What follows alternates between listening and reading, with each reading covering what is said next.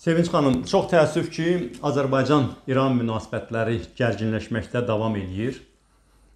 Əslində Azərbaycanın səfiri də dəvət olunmuşdu İran Xarici İşlər Nazirliyinə. Birinci onlar tərəfindən bu xəbərdarlıq edilib.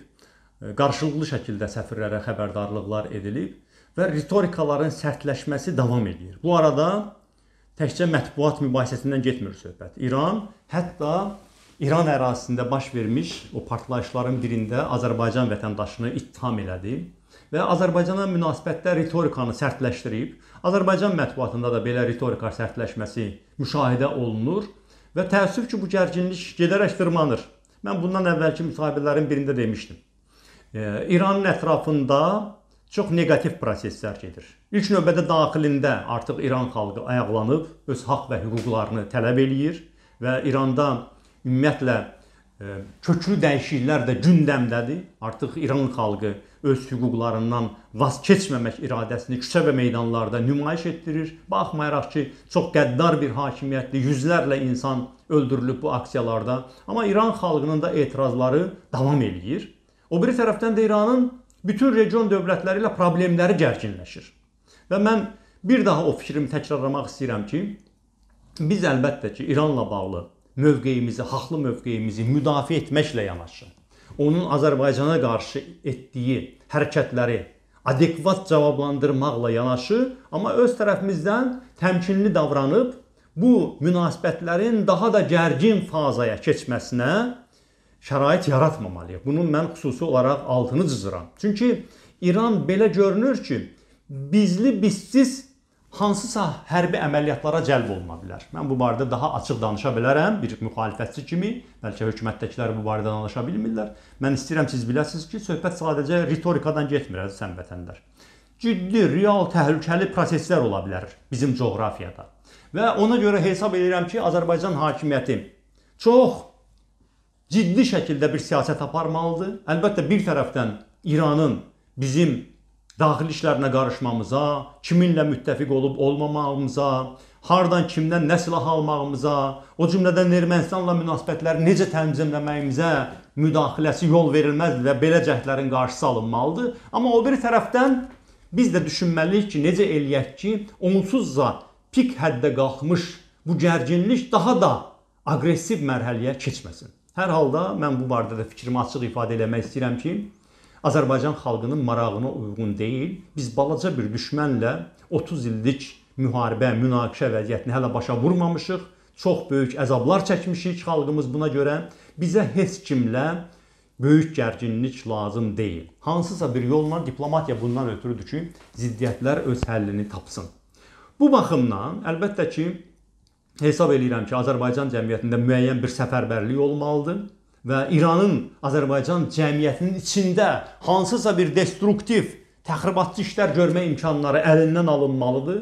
Azərbaycan cəmiyyəti bu məsələdə nə qədər müxalif mövqedə olmağından asılı olmayaraq kim nə qədər müxalif mövqedə olur olsun, bu məsələdə biz dövlətimizdən yanayıq. Hakimiyyəti dəyişəcəyik onsuz da. Bir gün var, sabah yoxdur.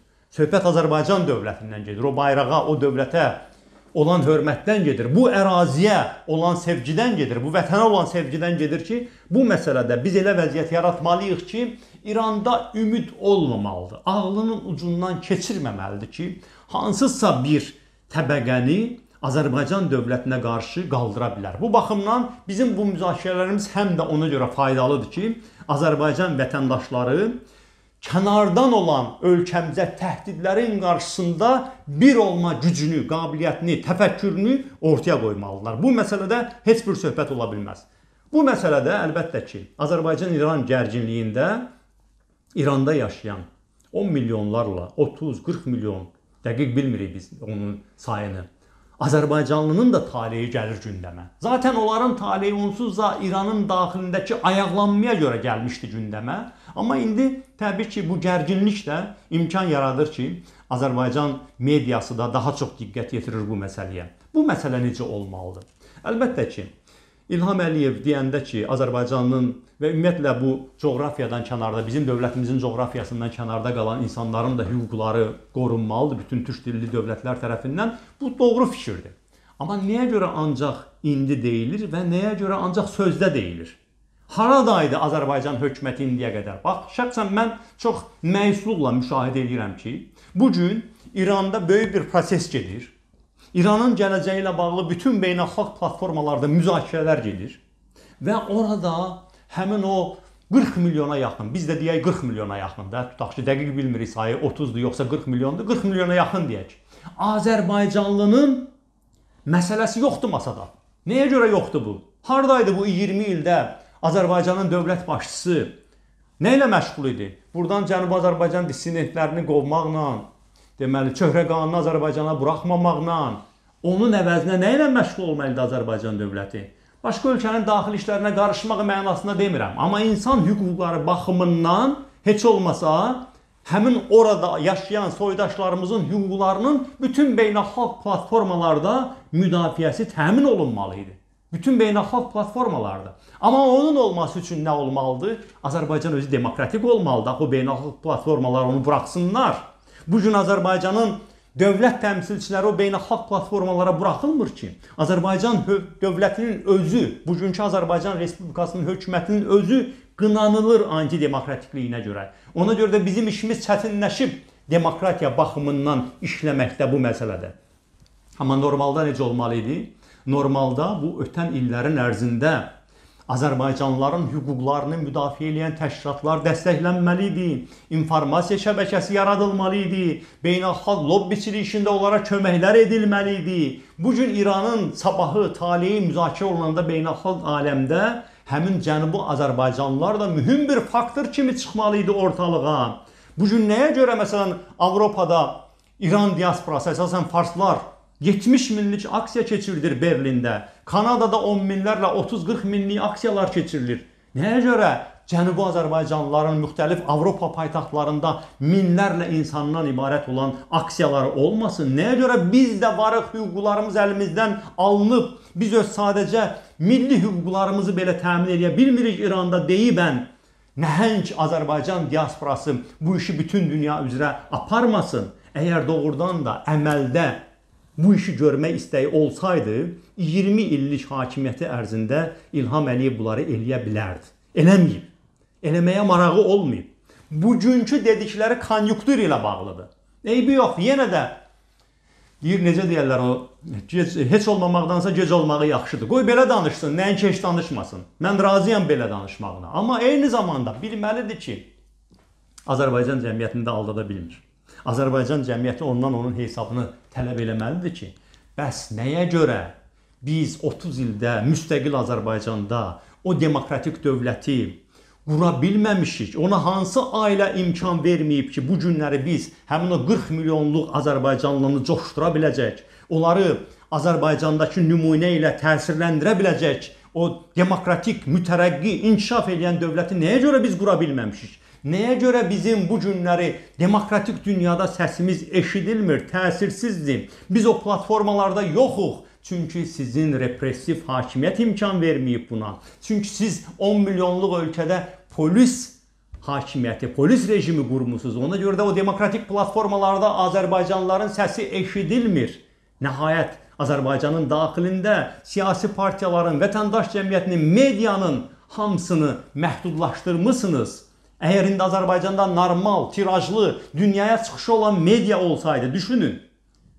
Böyük auditoriyalar, televiziyalar olsaydı, qəzetlər olsaydı, onların ingiliscə, başqa dillərdə versiyaları çıxsaydı, dünyanın paytaxtlarında de onların müxbirləri olsaydı, onlar dünya gündəminə öz məhsullarını çıxarda bilsəydilər və həmin o Cənubi Azərbaycanlı fəalların səsi, o cümlədən məhbusların səsi Abbas Lisaninin neçənci dəfədir insan Azərbaycanlıların hüquqlarını müdafiə elədiyinə görə həbs həyatı yaşayır.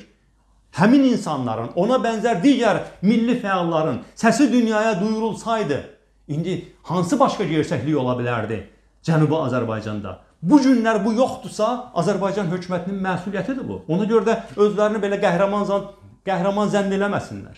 İndi 20 ilin başında İranla münasibətlər gərginləşib deyə soydaşlar yada düşüb, bağışlayın sizi milli qəhrəman filan elan eləməyəcəyik buna görə. Biz bilirik ki, o motivləri nədir. 20 il ərzində heç nə eləməməyin hesabını vermək lazımdır. Onun məsuliyyətini daşımaq lazımdır ki, bu gün əgər İranın bu günü və gələcəyi dünyanın gündəmində masadadırsa və o masada bizim mövqeyimiz Azərbaycanlıların, dünyadakı bizim soydaşlarımızın mövqeyi hələ də zəifdirsə, bunun ən böyük məsuliyyəti Azərbaycan hakimiyyətinin üzərindədir. Ona görə də hesab edirəm ki, heç olmasa bundan sonra nəticə çıxarsın Azərbaycan hakimiyyəti. Sadəcə ritorika ilə, dildə deməklə yox, əməldə gerçəkdən də öz hüquqları uğrunda mübarizə aparan soydaşlarımızın səsinin dünyaya duyurulması üçün, dünya tərəfindən eşidilməsi üçün mən bütün mexanizmləri burada danışa bilmərəm. Bir işlər görsünlər. Əgər o işlər görülmürsə və əgər o səs bu gün dünyada belə zəif çıxırsa, zəif eşidilirsə, bunun əsas məsuliyyəti Azərbaycan dövlətinin bütün resurs və imkanlarını əlində saxlamış Azərbaycan hakimiyyəti daşıyır. Ona görə də deməli biz nə etməliyik? Təmkinimizi saxlamalıyıq İranla bu söz dəyişməsində, onu daha təhlükəli mərhələyə keçməsinə imkan verməməliyik. Amma bu o demək deyil ki, biz haqsız irad və təhdidlərə susmalıyıq. Öz hüquqlarımızdan vaz keçməməklə bunu eləməliyik. Bizim daxili işlərimizə İranın qarışmasına heç bir tolerans göstərməli deyilik. Ölkənin daxilində elə bir ovqat yaratmalıyıq ki, Azərbaycanın heç bir vətəndaşı xaricdən İran dövlətindən Azərbaycana təhdid dilində olan bu danışıqlara tolerant yanaşmasın, ona hansısa amma ancaqla bir haqq qazandırmasın. Buna nail olmalıyıq. Dövlətin müdafiə qabiliyyətini gücləndirmək üçün hər gün çalışmalıyıq.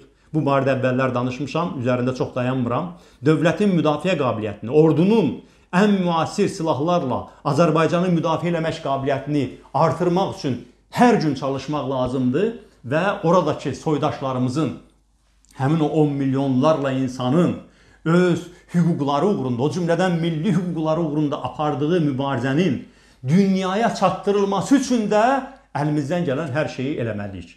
Sağ olun, sağlıqla qalın.